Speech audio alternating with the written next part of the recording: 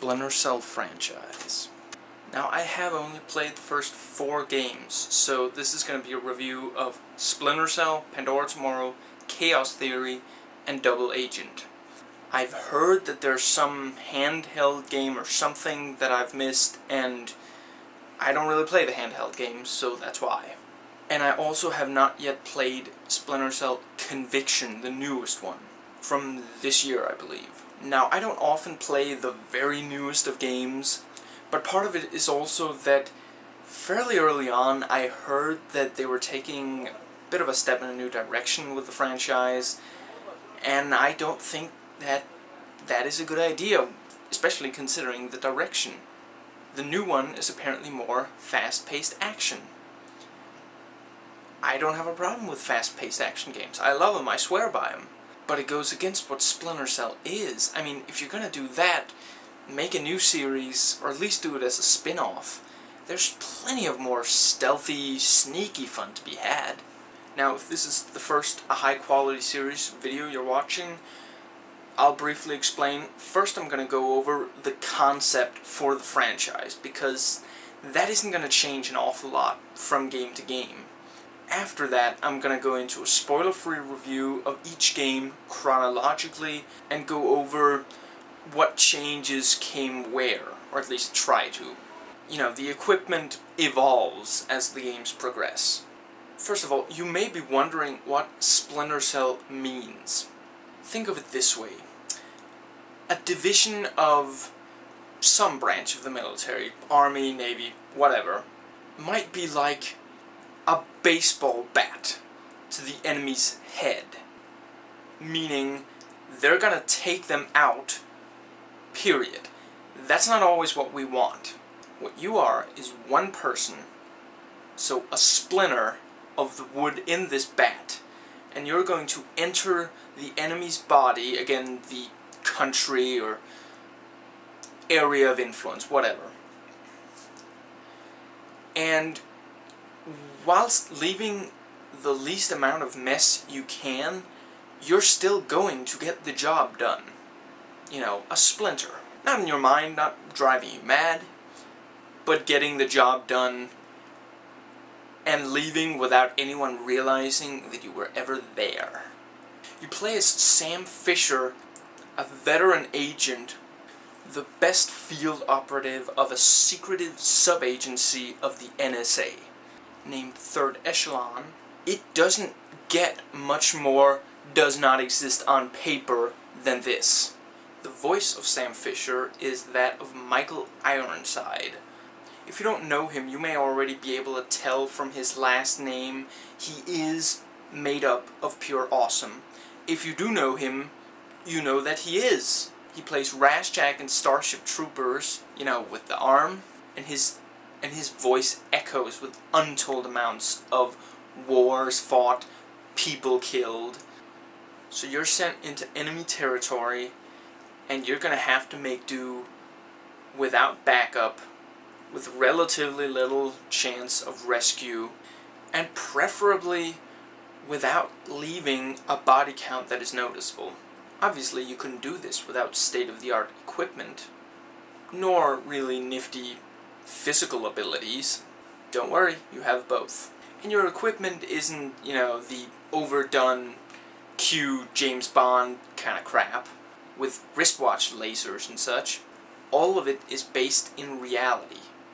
You can hack, pick locks, and you probably already know about the trifocal goggles.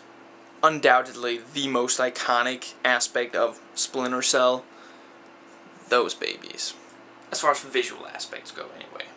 It offers you night vision, thermal vision, and eventually also EMF vision. I think that's only by the third game. EMF vision allows you to easier spot electrical stuff, cameras, lights, because you have a pistol which is fitted with the so-called OCP, which can temporarily short-circuit anything electrical you point it at. So if you see a camera, aim at it, short-circuit it, and get past it before it comes back on.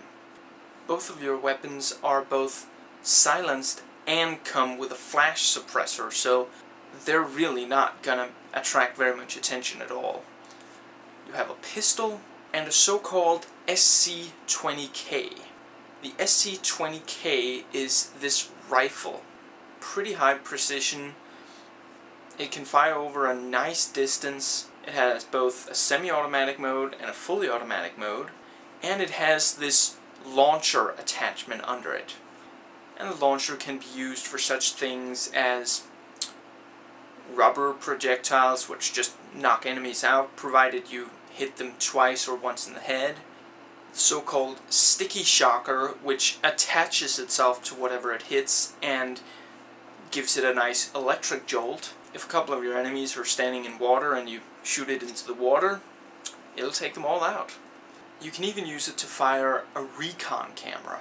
Now the abilities include the famous image of jumping against two walls so that you wind up with your legs outstretched and you're hanging up there between these two walls and enemies can pass underneath you without spotting you. You can let yourself drop onto them for an easy knockout. You can shoot from up there. You can climb beams and hang from them with your legs and shoot from up there. There's rappelling, you know, where you attach a rope to yourself to something on the roof of a building. Walk backwards down the side of the building. You can slide down wires. In general, you can really maneuver. Forget walking in the front. Climb to the roof of somewhere or get in through the least secured entrance. One of the very best aspects of this, one of the most impressive, and where this really stands out from all other stealth games that I know of. And granted, I don't play a ton of them. It's basically Splinter Cell franchise, Hitman franchise, and the Commandos franchise. But where this really stands out is the light shadow and sound silence systems. This registers how much light is shining on you, as well as how much noise you're making. Now the noise you're making, that we've seen before in other stealth titles, even in titles that aren't necessarily thought of as stealth titles. But while hiding is in other games, Hitman Blood Money, Prisoner of War, this is really the only game series I know of where how much light is shining on you really makes an impact for how easily you're going to be spotted. Basically, if you're in a lot of light, you can be standing still, you can be crouching, and the enemy will spot you when he comes close enough to see you. Which doesn't have to be right up close and personal because there's light on you. And you clearly don't belong. You're wearing a black suit, trifocal goggles. You weren't invited. However, if you're in complete darkness and you have a nice little helpful meter on the HUD to let you know how much light is on you. And if that pin is all the way at the bottom, you can be walking slowly next to an enemy and they will not spot you. Again, provided you don't make noise. This really adds a layer of realism to the sneaking and as has you always looking to find light sources and maybe think of ways to safely aim your OCP it to temporarily take it out. Though that will, of course, draw attention to it if anyone sees the light go out. Or find nice areas in the shadows. You know, how you know, forget how frustrating it can be to sneak in other games. Yes, that does include the Hitman franchise, because it's not quite clear how close you can get and if you're properly hidden and all that. Here, it's both that simple and that complex. It's simple because all you really have to worry about is how much light is on you, and it's complex because light can mean like a ray of moonlight that happens to hit you from in between two buildings that you were walking next to.